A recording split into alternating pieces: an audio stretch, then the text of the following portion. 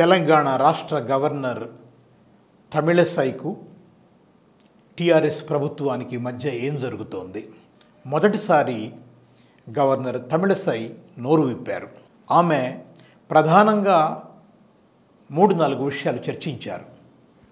ఒకటి కౌశిక్ రెడ్డి అభ్యర్థిత్వాన్ని తాను వ్యతిరేకించానని అది గవర్నర్ కోట అని తనకు రాజ్యాంగపరంగా హక్కు ఉందని మాట్లాడారు. అట్లాగే తాను పిలిచిన సందర్భాలలో ఎవరూ తన దగ్గరికి రావటం లేదు అధికారులు కనీసం ఎందుకు రావటం లేదో కూడా చెప్పటం లేదు అని రెండో విషయం మాట్లాడారు. మూడు తాను పర్యటనలకు వెళ్ళినప్పుడు ప్రోటోకాల్ పాటించి రావాల్సిన అధికారులు కూడా రావటం మానేశారు అని మాట్లాడారు. నాలుగు కరోనా సమయాలలో హాస్పిటళ్ళలో సౌకర్యాలు మెరుగుపరచాలని చెప్పాను. కానీ వాటి గురించి పెద్దగా శ్రద్ధ తీసుకోలేదు అన్నట్లు కూడా మాట్లాడారు. మాట్లాడుతూ ఫైనల్గా నేను స్నేహశీలంగా ఉంటాను. నాకు వీటి మీద కంప్లైంట్ చేయాలి అనేవి లేదు. నా అధికారాలను ప్రదర్శించాలని కూడా అనుకోవటం లేదు అని కూడా మాట్లాడారు. అయితే ఇక్కడ టీఆర్ఎస్ ప్రభుత్వం నిజంగానే ఎందుకు ఇలా వ్యవహరిస్తోంది? అంటే ఒకవేళ తమిళసై బీజేపీకి పూర్తిగా అనుకూలంగా ఏకపక్షంగా అంటే రాజ్భవన్ని ఒక రకంగా చెప్పాలి అంటే బీజేపీకి సంబంధించిన వారికి ఒక ఆఫీస్ లాగా మార్చివేశారు అనేటువంటి భావనలో టీఆర్ఎస్ ప్రభుత్వం ఉందా? కేసీఆర్ అలా ఉన్నారా? నిజంగా అందుకు జరిగిన దృష్టాంతాలు ఏమైనా ఉన్నాయా? ఉంటే అవి పబ్లిక్లోకి రావాల్సిన అవసరం కూడా ఉంది. ఇంకొకటి ఏమిటంటే గతంలో నరసింహన్ గారు ఉన్నప్పుడు కేసీఆర్ ఎలా వ్యవహరించారు? ఎటువంటి మంచి సంబంధాలు ఉన్నాయి? ఎంత మర్యాదపూర్వకంగా ఉన్నారు? ఇప్పుడు ఎలా ఉన్నారు అనేది ప్రజలు కంపేర్ చేయటం మొదలు పెడుతున్నారు.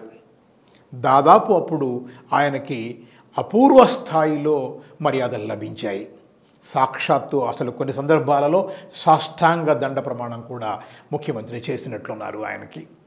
అంత గౌరవ మర్యాదలు ఇచ్చి గతంలో ఇప్పుడు ఇవ్వకపోవటం వెనక కారణాలు ఏమిటి? ఇది కొంచెం ప్రజలకు తెలియకపోతే స్పష్టత రాకపోతే తమిళసై చెబుతున్న విషయాలే ఇవాళ క్రమక్రమంగా ప్రజల్లోకి వెళితే టీఆర్ఎస్ ప్రభుత్వం తప్పున పడే అవకాశాలు ఎక్కువగా ఉన్నాయి. ఎందుకంటే మోడీ ప్రభుత్వంతో పోట్లాడటం వేరు అందుమూలంగా ఆ కోపాన్ని తమిళసైపై ప్రదర్శించటం వేరు. ఈ రెండు పూర్తిగా వేరువేరు అంశాలుగా అర్థం చేసుకోవాలి. మోడీ విధానాల మీద పోరాడే హక్కు రాష్ట్ర ప్రభుత్వంగా మీకుంది. మీ వాటా కోసం మీరు అడగవచ్చు రాజకీయంగా ఎదుర్కొనేటువంటి ఖచ్చితమైనటువంటి హక్కు ఉంది కాబట్టి మీరు ఎదుర్కోవచ్చు. ఒక గుబర్నేటోరియల్ పోస్ట్లో ఉన్న ఒక వ్యక్తికి సంబంధించిన ప్రోటోకాల్స్ పాటించటం వేరు. ఈ మర్యాద వేరు.